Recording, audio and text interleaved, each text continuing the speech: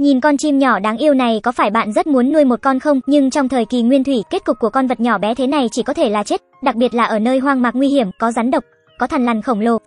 Vậy chú chim nhỏ bé này sẽ phải làm thế nào đây? Hôm đó nó vấp vào một chiếc tai thỏ và bị ngã, thỏ con tốt bụng không chỉ không trách mắng nó, mà còn nhẹ nhàng nâng nó dậy, chú chim còn chưa kịp đứng vững lại bị ngã sang bên khác.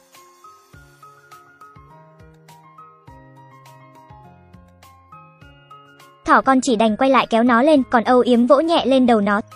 Chú chim mở tròn mắt coi thỏ con giống như bố mình vậy. Thỏ con có chút ngượng ngùng, lập tức quay người chạy đi. Chú chim loạn trạng dưới thân hình tròn vo, chậm chạp bước đi phía sau thỏ con, mới đi được vài bước lại vấp ngã sấp mặt.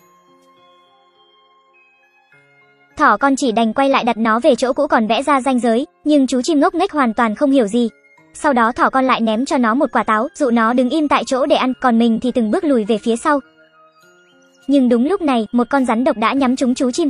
Thỏ con thấy vậy ném hết táo đi, nhanh chóng chạy đến cứu chim nhỏ, sau đó chạy một mạch lên hòn đá cao. Lại âu yếm vỗ nhẹ lên đầu nó, bảo nó đừng chạy lung tung, sau đó tụt xuống định đi nhặt lại táo.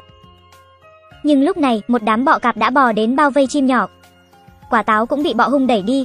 Một bên là thứ mình thích ăn nhất, một bên là chim nhỏ đang rơi vào nguy hiểm.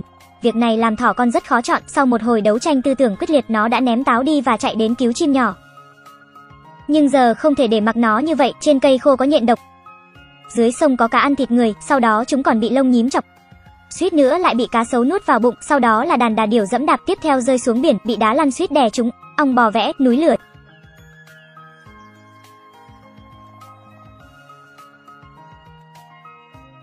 Trải qua 81 kiếp nạn, họ đã đến bên một vách núi, chim nhỏ từ từ quay người lại, mở tròn mắt nhìn thỏ con.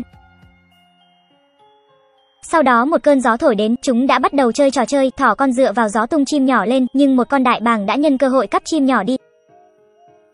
Thỏ con vô cùng lo lắng, thấy chim nhỏ càng lúc càng bay xa, lúc này nó thực sự tức giận. Nhân lúc đại bàng bay lượn ở độ cao thấp, thỏ con đã nhảy xuống, rơi chúng vào người đại bàng. Đại bàng bay loạn trọng, sau đó bay lên chỗ cao ném chim nhỏ đi. Thỏ con thấy vậy cũng nhảy xuống theo. Nó dang rộng vòng tay ôm chim nhỏ vào lòng. Sau đó giơ tay ra, chim nhỏ dường như vẫn chưa ý thức được nguy hiểm.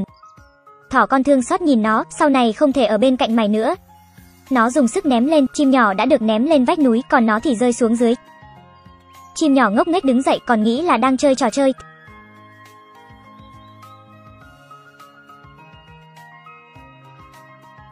Thì ra người tốt ắt được báo đáp là sự thật. Thỏ con được gió thổi ngược lên. Cuối cùng hai con vật nhỏ đã gặp lại nhau sau một hồi hôn hít. Chim nhỏ vui mừng bay xung quanh thỏ, nhiều năm sau, chim nhỏ cũng đã lớn, biến thành một con chim hải âu. Thỏ con giờ đã già, nhưng bên cạnh nó lúc nào cũng có đủ loại quả, đó đều là của chim hải âu mang về. Đây là một bộ phim vô cùng ý nghĩa, cũng liên quan đến câu chuyện bảo vệ và trách nhiệm. Bạn có tình bạn nào đẹp thế này không?